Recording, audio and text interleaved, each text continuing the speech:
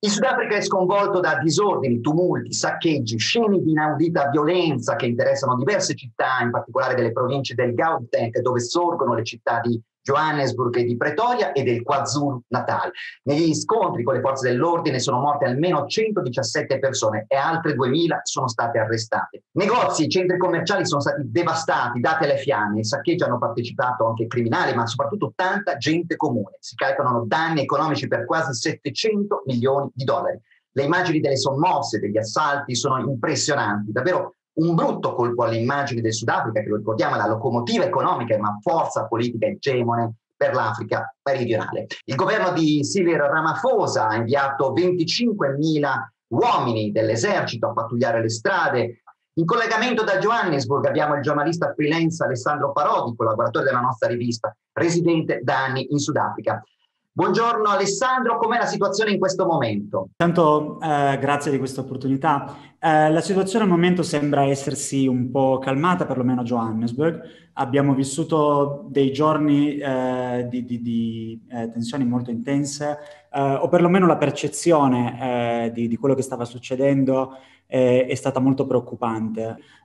in particolare le township della, della, provincia del Gauteng, che comprende, come, come, hai detto, Johannesburg e Pretoria, le township hanno, eh, hanno iniziato a essere messe a, a ferro e fuoco proprio. Uh, la popolazione di queste township um, ha attaccato in particolare quelli che hanno ritenuto essere i centri del, del capitale straniero, il capitale bianco, per cui i centri commerciali eh, e alcuni negozi che eh, in particolare rappresentano, eh, secondo la popolazione, eh, il, il, malgoverno, o appunto quello che viene definito come malgoverno eh, del, del, dell'attuale presidente Cyril Ramaphosa. Eh, la situazione è molto sfaccettata e molto complicata perché quella che eh, sembra, magari dall'esterno, può sembrare, eh, può sembrare uno sfogo dovuto al Covid o dovuto in generale al malcontento della gente, eh, par- pare in questi ultimi giorni che invece sia stato organizzato con eh, molta attenzione nel dettaglio da forze politiche eh, che ancora non sono molto evidenti molto chiare. La, la, la, stampa locale adesso parla di una sporca dozzina, eh, un, un, una, un, gruppo di 12 eh, politici e ex eh, militari eh, che sarebbero alle spalle di, di, di, queste sommosse, che ovviamente approfittano di due o più elementi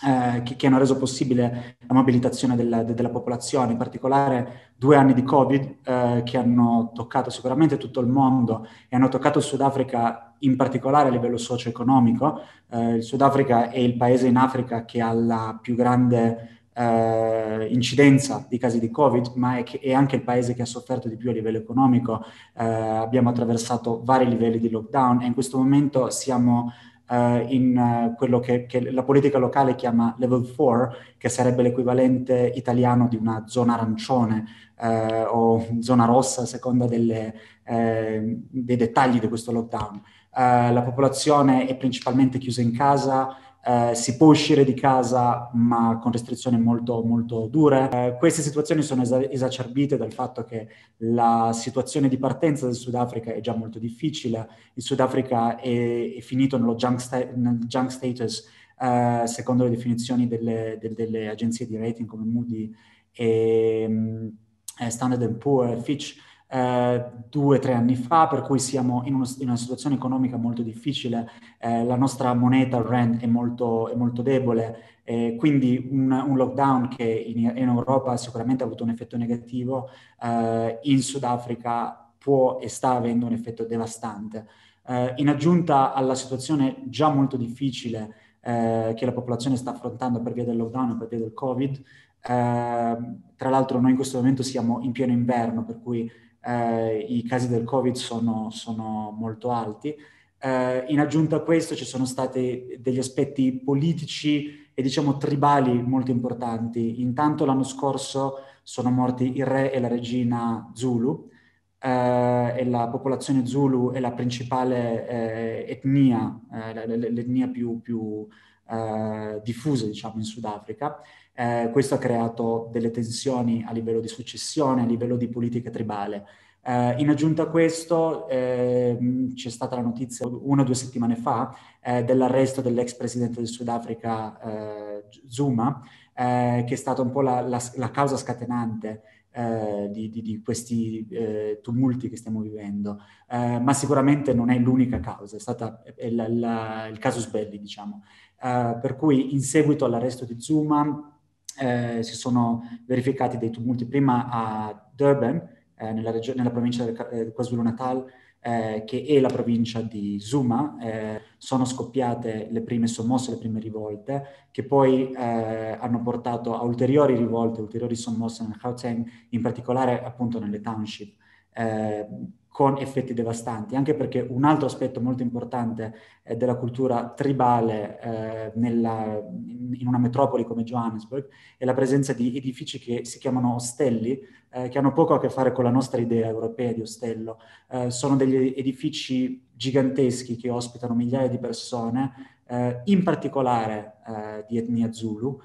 in condizioni spesso, anzi sempre, veramente disagiate. E all'interno di questi ostelli eh, vive il, un, un, forte sentimento eh, tri- tribalistico e, e di, di, di un, una certa appartenenza politica che ricorda molto eh, de- degli sco- gli scontri che ci sono stati al termine dell'apartheid tra il partito che oggi è al governo dell'ENC e un altro partito che ancora esiste ed è ancora molto forte ed è ancora molto caratterizzato eh, dalla, dall'appartenenza all'etnia Zulu, che è quello di Inkata, eh, anche noto come IFP, Inkata, Freedom Party. Quindi queste, queste due realtà della, della, popolazione nera che vive nelle township, eh, che è spesso anche una popolazione di stranieri che vengono da altrove in Africa, eh, e invece la popolazione degli ostelli che è di astrazione, e, e, e in particolare una popolazione Zulu, Uh, queste due realtà che a noi europei potrebbero sembrare molto simili, in realtà si scontrano uh, in, un, uh, in, una guerra che poi si, si, si esprime in, nelle, nelle, sommosse che stiamo vivendo adesso. Insomma, l'esercito è in strada e sta monitorando la situazione, ehm, per cui insomma si sembra che l'emergenza sia rientrata, ma ancora non si capisce bene a fondo quali siano le vere cause e a cosa porterà tutto questo. Ecco, ricordiamo che le violenze sono scoppiate il 9 luglio in reazione proprio all'arresto del presidente Jacob Zuma, condannato dalla Corte Suprema a 15 mesi di reclusione per oltraggio e reticenza. C'è, come eh, ricordava Alessandro Parodi, che eh, c'è chi alimenta il sospetto che i disordini siano stati proprio innescati, quantomeno in una prima fase, anche da personalità politiche, personalità dello Stato vicine ancora a Zuma ma appare chiaro appunto da quanto uh, ascoltavamo che eh, siano uh, ben altre, vere le ragioni della rabbia popolare. Ecco, come vive questa situazione la minoranza bianca che ancora oggi, a 30 anni dalla fine dell'apartheid, controlla buona parte delle leve del potere economico del Sudafrica? La popolazione bianca del paese vive queste sommosse un po' come probabilmente le vivete voi dall'Europa, nel senso eh, le, le, si vedono in televisione e c'è un fondamentale distacco dalla, dalla realtà eh, di quello che sta succedendo a pochi passi dai quartieri più abbienti e dai quartieri più bianchi, appunto. Uh, un esempio eclatante è, è, quello di due quartieri qua a Johannesburg, uno, che eh, uno è il quartiere di Sandton, che è anche noto come il chilometro quadrato più ricco d'Africa, e a fianco a Sandton esiste un quartiere che si chiama Alexandra, che invece è una township, è una township molto pericolosa, con dinamiche sociali molto difficili, per cui ehm, la popolazione di Sandton sente gli spari e vede gli elicotteri, ma non sa esattamente che cosa stia succedendo. E c'è, questo, c'è questa sensazione per la popolazione bianca di essere in prigione, di essere, in una, di, di essere reclusi e di non sapere esattamente che cosa stia succedendo fuori casa. Questo anche in virtù, de, in virtù del coprifuoco comunque che stiamo vivendo per via del Covid, ma la, la, la percezione come spesso per i bianchi sudafricani, è probabilmente amplificata rispetto a quello che davvero succede. Per cui i bianchi sudafricani e per esempio la comunità italiana che è molto presente, soprattutto a Johannesburg, eh, questa popolazione ha una percezione di essere all'interno di una vera e propria guerra, di una guerra civile. Eh, civile. Eh, in realtà sicuramente ci sono delle, delle problematiche molto, ehm, accentuate, ma che eh, ai fatti probabilmente non andranno a toccare questi centri del potere. Appare chiaro dunque che la crisi sudafricana di questi giorni in realtà eh, cela dei mh, problemi di disuguaglianze molto molto uh, stridenti in Sudafrica. Le ultime statistiche sulla disoccupazione dicono che oltre il 50% dei giovani sudafricani non ha un lavoro. Nei mesi del lockdown dal 2020 sono andati persi 3 milioni di posti di lavoro. Il Sudafrica è il paese africano più colpito dalla pandemia, lo ricordiamo, ad oggi abbiamo 2 milioni e 200 mila casi di contagio, la metà di tutti quelli registrati nell'intero continente. Ma è evidente anche che la pandemia ha esacerbato problemi sociali non nuovi per il Sudafrica. Da almeno cinque anni la crescita economica si è inceppata, lo si ricordava da Johannesburg quanto ormai il debito estero di questo paese sia un fardello insostenibile. Soprattutto le disuguaglianze sono diventate sempre più profonde nel corso del tempo. Il divario tra ricchi e poveri che ahimè quasi sempre coincide ancora oggi con il colore della pelle, si è allargato rispetto al 1994, che lo ricordo è l'anno delle prime elezioni del post-apartheid. Insomma, il malcontento sociale è sfociato più volte in eh, proteste, scioperi, in disordini, talvolta in attacchi xenofobi contro gli immigrati, lavoratori provenienti da Mozambico, da Zambia, Zimbabwe, dalla Nigeria. La criminalità, criminalità resta alta e fuori controllo in vaste parti del territorio e soprattutto la corruzione, una piaga che ha infettato da tempo i palazzi della politica.